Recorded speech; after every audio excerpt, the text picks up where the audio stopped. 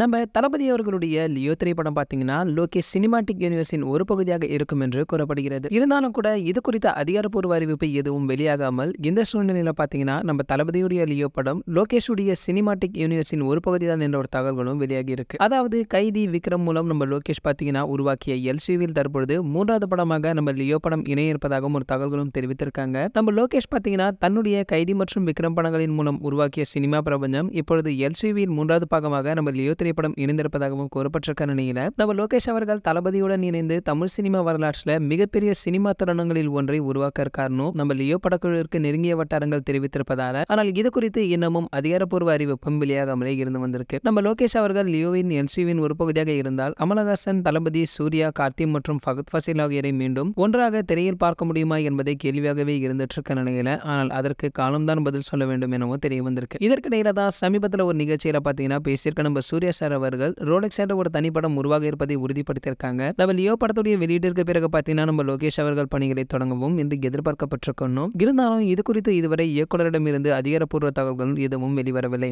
இதற்கிடையில தான் லோகேஷ் அவர்கள் சூப்பர் ஸ்டாரை வைத்து அடுத்த படத்தை இயக்க இருக்காருன்னு நம்ம சன் பிக்சர்ஸ் தயாரிக்கும் இந்த படத்திற்கு தலைவர் நூத்தி இருபத்தொன்று என்று தற்காலிகமாக பெயரிடப்பட்டிருக்கு. இந்த படத்துடைய வேலைகளை லோகேஷ் தற்பொழுது தொடங்கியிருக்க நிலையில தலைவருடைய நூத்தி எழுபத்தாறாவது ஒரு தனி திரைப்படமாக இருக்கும் என்று லோகேஷ் சினிமாட்டிக் யூனிவர்ஸின் ஒரு பகுதியாக இருக்காது என்று ஒரு தகவல்களும் வெளிவந்திருக்கு. சரி ஓகே இது போன்ற சினிமா பற்றி விளையாகும் அனைத்து செய்திகளை நீங்கள் உடனே தெரிஞ்சுக்க. நம்மளுடைய ட்ரெண்ட் சென்டர் என்னும் நம்ம சேனலை சப்ஸ்கிரைப் பண்ணிக்கோங்க. மேலும் பக்கத்தில் உள்ள பெல்லைக்கான கிளிக் பண்ணிட்டீங்கன்னா நீங்கள் நம்ம வீடியோவை மிஸ் பண்ணாமல் பார்க்கலாம்.